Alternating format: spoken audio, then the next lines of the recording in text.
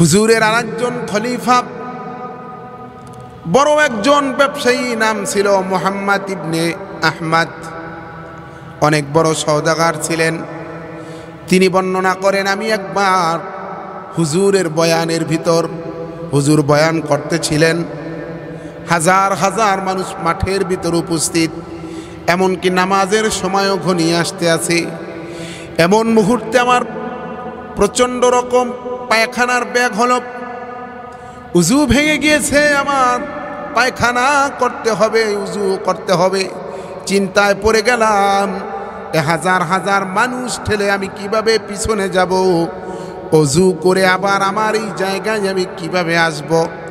এই চিন্তা করলাম, আর পেটের ব্যথায় পেট ধরে বসে রইলাম, কারণ প্রচণ্ড রকম আমার বাথরুম চাপ দিয়েছিল।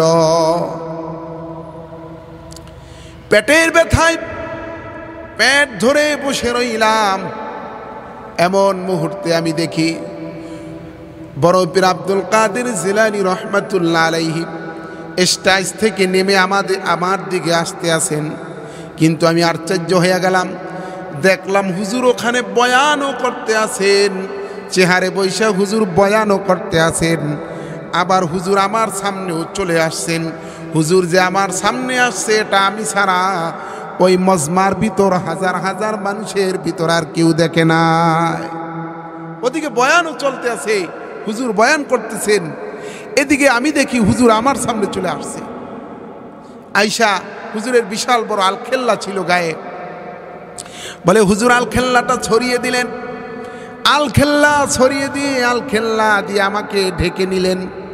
ঢেকে নেওয়ার পরে আমি আলখেল্লার ভিতর যাওয়ার পরে এইবার দেখি, আমি আর ওয়াজ মাহফিলের জগতে নেই, আমি অন্য একটা জগতে চলে এসেছি। হুজুর আলখেল্লা দিয়া ঢেকে নিলেন, এবার আমি দেখতেছি, আমি এমন এক জায়গায় এসেছি, সামনে ছোট্ট একটা নদী দেখা যায়, মরুভূমি দেখা যায়, কিছু বন জঙ্গল গাছগাছালিও দেখা যায়। এটা দেখে আমি এবার আমার পকেটে চাবির গোচ্ছা ছিল, চাবির ছড়া ছিল।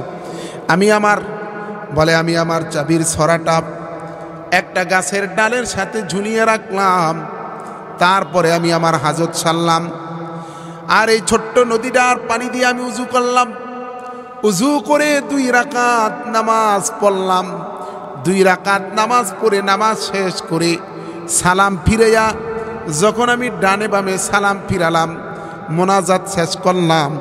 এবার আমি দেখি আমি আবার সেই মজমার ভিতর উপস্থিত।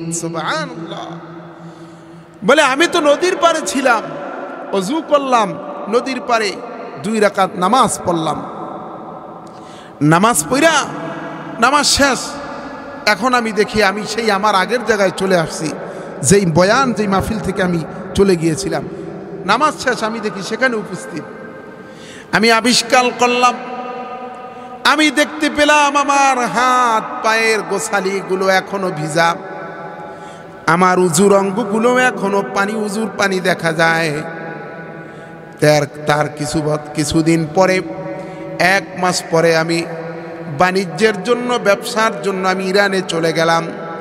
ইরানে যাওয়ার পরে, ইরানে ব্যবসার জন্য যাওয়ার পরে আমরা ইরানে ব্যবসার জন্য যাওয়ার পরে চোদ্দ দিন হেঁটে আমরা এমন একটা জায়গায় আসলাম, যেখানে আমাদের জরুরত পড়ল আমাদের রাত হয়ে গেল। আমরা তাবু স্থাপন করলাম, তাবু গাললাম তাবু গাড়ার পরে এক সময় আমি ওই স্থানটা ঘুরতে শুরু করলাম। ঘুরতে ঘুরতে আমি ওই জঙ্গলের ভিতর চলে গেলাম। বলে, ঘুরতে ঘুরতে আমি জঙ্গলের ভিতর যাওয়ার পরে দেখতে আসি, ওই গাছের ডালের সাথে এক সরা চাবি ঝুরানো ঝুলানো দেখা যায়। চাবিটা দেখাই।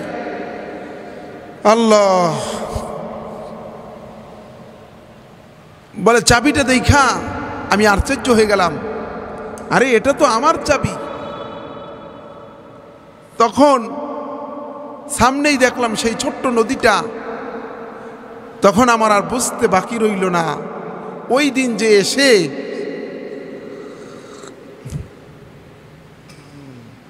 ওই দিন যে এসে আমি চাবি রেখেছিলাম, এটা আমার সেই চাবি। ওই দিন আমি চলে গিয়েছিলাম, চাবি আর নিতে আমার মনে ছিল না, খেয়াল ছিল না। চাবি যে ঝুলাই রাখছে, ওখানে রয়ে গেছে। তিনি তখন বুঝতে পারলেন, এটা সেই জায়গা। যেখানে হুজুর আমাকে আলখেল্লা দিয়ে ঢেকেছিলেন, আর আমি এসে আমার জরুরাত ছেড়েছিলাম। এই তো চাবি এই তো সেই নদী।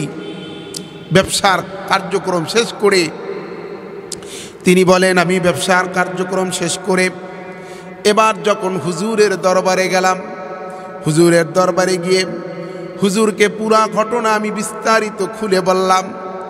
বরফির আব্দুল কাদির জিলানি ডেকে বলল, বাবা আমার জীবদ্দশায় কোনোদিন তুমি এই ঘটনা কারও কাছে বলবা না।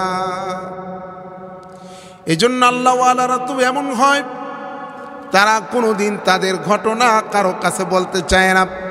যদি কোনো কেরামাত প্রকাশ হয়ে যায়, তাদের জীবদ্দশায় কোনো কেরামাত প্রকাশ হলে কোনো দিন সেই কেরামাতের, কেরামাতির কথা কোনো দিন তিনি মানুষের কাছে প্রকাশ করেন না।